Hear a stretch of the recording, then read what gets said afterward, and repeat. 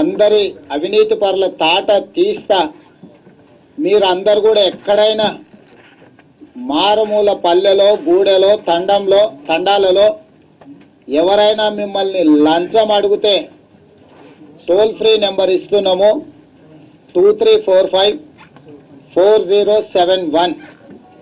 ఈ నెంబర్కు ఫిర్యాదు చేయండి. ప్రత్యక్షంగా నా దగ్గరికి ఫిర్యాదు వస్తుంది. ఎవరు లంచం అడిగినా వాళ్ళందరిని కూడా తాట తీస్తా అని చెప్పి ముఖ్యమంత్రి గారు చెప్పారు. ఇక ఆయన కొడుకు కేటీఆర్ గారు ఇంకో మాట చెప్పిన ఒక అడుగు ముందుకేసి ఏమని అంటే ఎవరైనా లంచం అడిగితే చెప్పుతో కొట్టండి అని. అబ్బా తండ్రి కొడుకులు ఎంత నీతిమంతులు అయిపోయిందని చెప్పి మేము అందరం సంతోషపడ్డాం. ఏది ఏమైనా నిన్న ముఖ్యమంత్రి గారు ఏడు గంటల సమీక్షలో వస్తున్న వార్తలను బట్టి చూస్తే రాజకీయ కక్షా సాధింపు చర్యల కోసం నిన్న ఏడు గంటలను అధికారులను పిలుచుకొని ఏడు గంటలు మొత్తం దాని మీదనే దృష్టి పెట్టినట్టు కనిపించింది. ఇందులో ప్రధానంగా నిన్నమన్న జరిగిన భారతదేశ రాజకీయ అంశాలను ఒకసారి గమనిస్తే ప్రధానంగా ఆంధ్రప్రదేశ్ ముఖ్యమంత్రి నారా చంద్రబాబు నాయుడు గారు భారతీయ జనతా పార్టీ ప్రభుత్వంలో నుంచి బయటికి రావడము ఆ తర్వాత తన రాష్ట్ర ప్రయోజనాలను కేంద్ర ప్రభుత్వం కాపాడడం లేదు.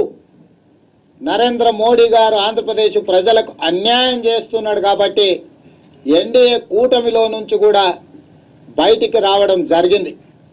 అదొక పక్కన పెడితే తెలంగాణలో ఈ ప్రభుత్వ వైఫల్యాల మీద కాంగ్రెస్ పార్టీ తరఫున ప్రజా చైతన్య బస్సు యాత్ర చేపడితే దాదాపుగా ముప్పై ఒక్క నియోజకవర్గాలలో కాంగ్రెస్ పార్టీ ప్రజల సమస్యల పట్ల పోరాటంలో ప్రధానంగా పార్టీ కీలకమైన నాయకులతో పాటు నేను కూడా కాంగ్రెస్ పార్టీ సభలలో పాల్గొని నాలుగు సంవత్సరాల కేసీఆర్ కేసీఆర్ కుటుంబం ఈ రాష్ట్రంలో ఎన్ని వేల కోట్ల రూపాయల కుంభకోణాలకు పాల్పడింది?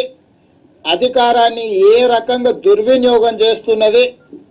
తిరిగి అధికారంలో కొనసాగడానికి చేస్తున్న చిల్లర మల్లర చేష్టల విషయంలో పార్టీ ఫిరాయింపుల కోసం ప్రతిపక్ష నాయకుల మీద పెడుతున్న అక్రమ కేసుల విషయాలను అన్నింటిని కూడా ప్రస్తావించడంతో రాష్ట్ర ప్రజలలో ఒక ఆలోచన కేసీఆర్ యొక్క చేస్తున్న ప్రయత్నాలన్నీ కూడా తన కుటుంబం యొక్క విలాసవంతమైన జీవితం కోసం నిర్ణయాలు జరుగుతున్నాయి తప్ప పేద ప్రజలకు మేలు జరగడానికి ఎలాంటి చర్యలు ఈ రాష్ట్ర ప్రభుత్వం తీసుకోలేదు అని చెప్పి ప్రజలకు స్పష్టమైన అవగాహన కల్పించే ప్రయత్నం చేస్తున్న క్రమంలో అటు మోడీ గారికి చంద్రబాబు నాయుడు గారి నిర్ణయం వల్ల జరిగిన నష్టాన్ని ఇటు కేడీ గారి అసలు నిజ స్వరూపాన్ని నేను బయట పెట్టడాన్ని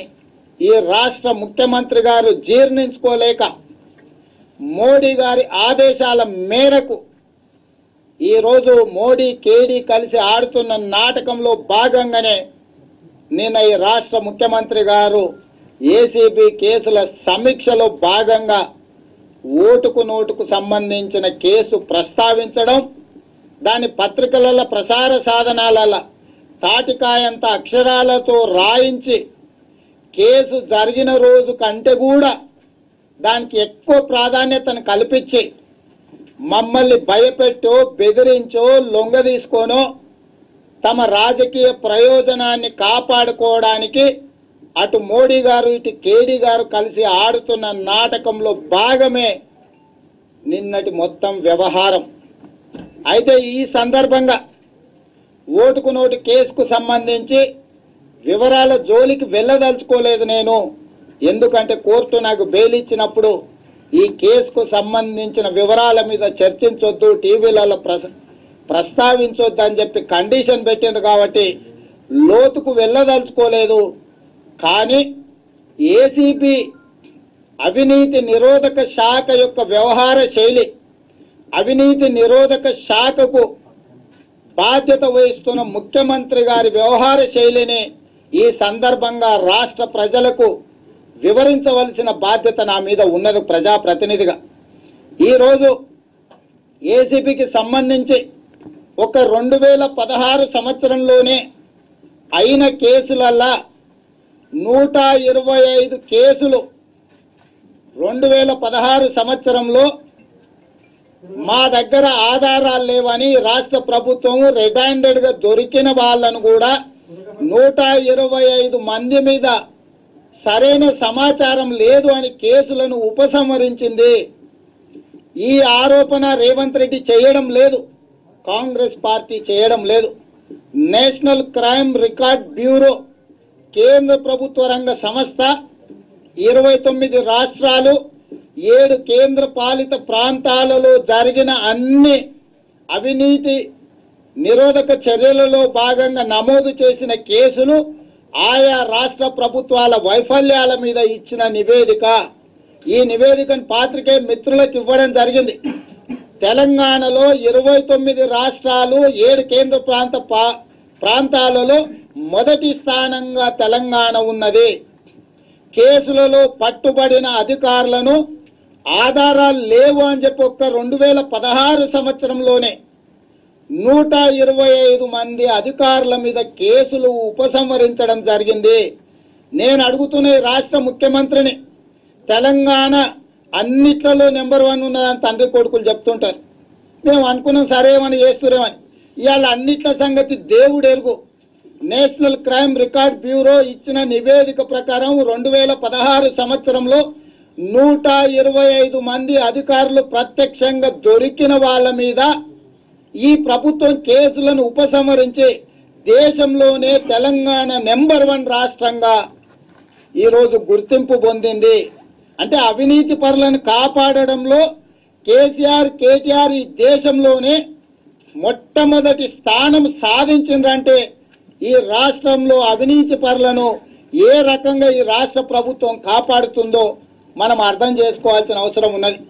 అదేవిధంగా రెండు వేల పదమూడు సంవత్సరంలో నిమ్స్కు సంబంధించిన నిజాం ఆసుపత్రిలో ముఖ్య విభాగానికి సంబంధించిన అధిపతి శేషగిరిరావు అనే డాక్టర్ ఒక లక్ష అరవై వేల రూపాయల లంచం తీసుకుంటూ రెడ్ హ్యాండెడ్గా పట్టుబడితే ఆ కేసును ఈ ముఖ్యమంత్రి గారు రెండు వేల పదిహేడు సంవత్సరంలో ఆయన బంధువు కాబట్టి దీని విచారణ చేయాల్సిన అవసరం లేదు కేసును ఉపసంహరించుకుంటున్నామని చెప్పి శేషగిరిరావు గారికి విముక్తి కలిగించిండు.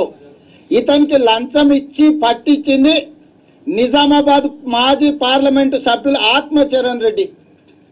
అంటే ఒక మాజీ పార్లమెంటు సభ్యుడికి సంబంధించిన వ్యాపారంలో అతనికి చేయవలసిన పని చేయడానికి ఒక లక్ష అరవై వేల రూపాయల లంచం ఇస్తేనే పని చేస్తా అన్నందుకు లక్ష అరవై వేల రూపాయలు ఈ శేషగిరిరావు గారికి ఇస్తూ ఏసీబీ అధికారులకు ఒక మాజీ పార్లమెంటు సభ్యుడు పట్టిస్తే ఆ మాజీ పార్లమెంటు సభ్యుడు పట్టించిన డాక్టర్ను శిక్షించాల్సిన కేసీఆర్ గారు కేవలం ఒకే ఒక్క కారణం.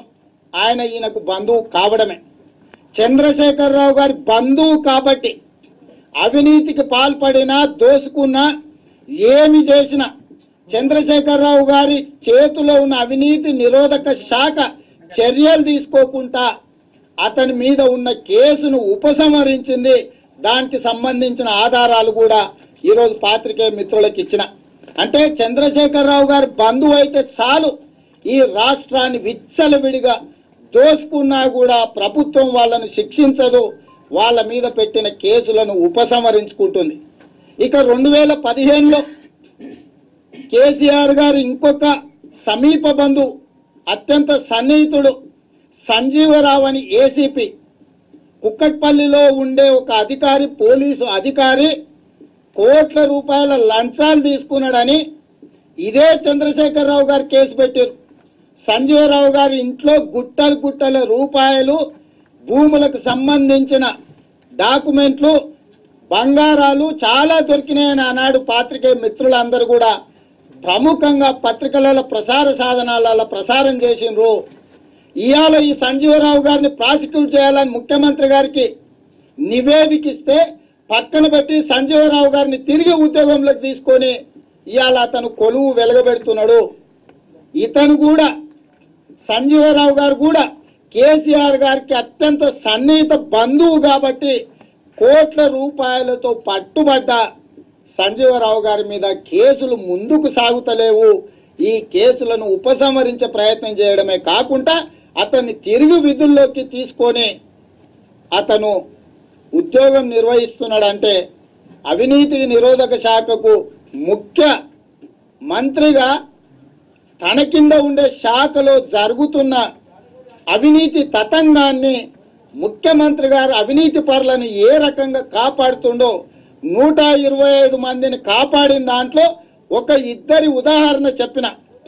కేసీఆర్ సామాజిక వర్గానికి సంబంధించిన వాళ్ళు ఎవరైనా సరే అవినీతి నిరోధక శాఖలు దొరికితే దొరికిన మూడు నెలలోనే నాలుగు నెలలోనే వాళ్ళకు పూర్తిగా విముక్తి కలుగుతుంది. అయితే ఈ మధ్య తాజాగా ఇంకొక కేసు చూసినాం.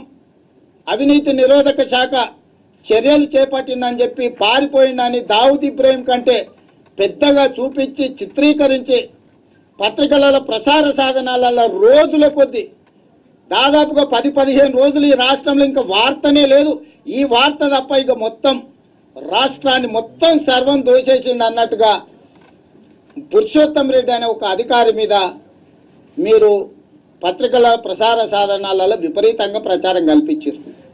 అతను రిటైర్డ్ ఎక్కడ దొరకలే లంచం తీసుకుంటూ అతని మీద ఎవరో కేటీఆర్కు సంబంధించిన వ్యక్తి కేటీఆర్ గారికి ఆయన లేఅవుట్ పర్మిషన్ ఇవ్వమని అడిగితే అతను ఏదో లంచం అడిగిండని అప్పుడు కేటీఆర్ గారు ఫోన్ చేస్తే మంచిది చేస్తా అని మళ్ళీ వెళ్ళిన తర్వాత నువ్వు కేటీఆర్ మిత్రుడు అయినా సరే నాకు ఇవ్వాల్సింది ఇవ్వాల్సిందే అని అడిగిండని చిన్నరాజు గారికి కోపం వచ్చిందంట.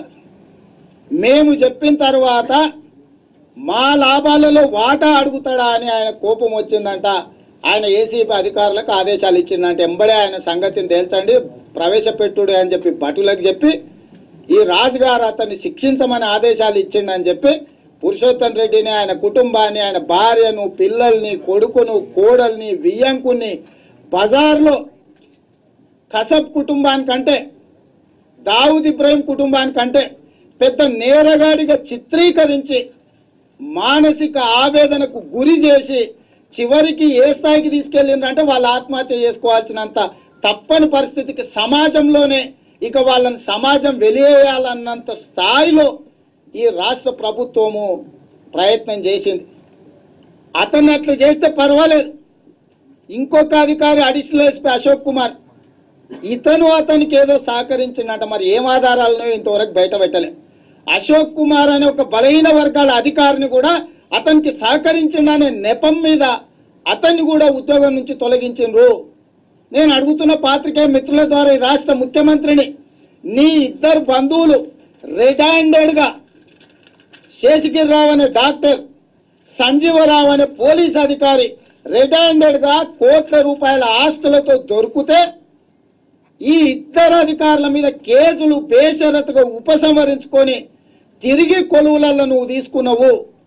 కానీ అదే ఇతరులకు సంబంధించిన ఒక పురుషోత్తం రెడ్డిని ఒక బలైన వర్గాలకు సంబంధించిన అశోక్ కుమార్ అనే అధికారిని మీరు ఉద్యోగాల నుంచి తొలగించి వాళ్ళ కుటుంబాలను బజార్లో తలెత్తుకోకుండా ఈరోజు మీరు ఇబ్బంది కలిగిస్తున్నారు నేను అడుగుతున్న రాష్ట్ర ముఖ్యమంత్రిని రెండు వేల పదహారులో నూట ఇరవై ఐదు కేసులు మీరు ఏవైతే ఉపసంహరించినరో ఈ ఆధారాలన్నిటిని బయట పెట్టండి వివరాలన్నిటిని.